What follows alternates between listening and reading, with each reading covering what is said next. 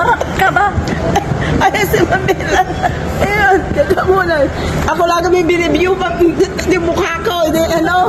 Nasa close up. Cellphone natin. Malinaw. Ang laki. Ay, ano, yung isa kong anak, nakita, nakita ko na rin. Ibang lahi din. Ibang lahi din. Jose. Ibang lahi din niya. Ito, Maria, ibang lahi, ibang tatay din ito. ibang lahi. Ito na. Yan yung kagabi. Nilagay ko na. Ibang lahi. Yung lahi mo rin, ang tatay nito. Dati Nigerian. Ay, mag-gusto. Ayan si Merde. Ayan si Ross.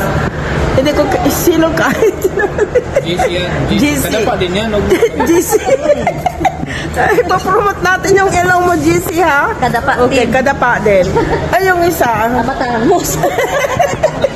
Ay, si Mamila, yung, yung, yung bata nag-iisa. Luis, sabi mo, dapa. Uy, nandito yung ano. Kutsara. Kuba kayo ng kutsara. Halo. Halo. Halo, halo. Sabi niya, sabi ko, eh, video ko si Direk kasi hindi ko na yan, hindi ko yan na makikita eh. Ito po si, ano, si TV.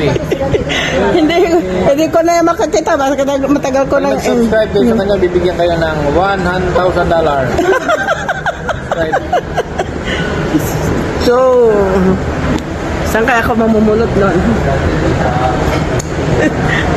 Ito na ba ito? Ayaw ko pala, may nalawin. Kaya na, ano, Bakit?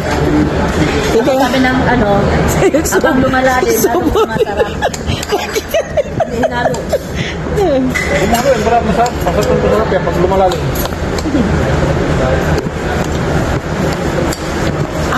Tayo, Ras. Gusto mo? Wala ka pang ulam, Mirmi.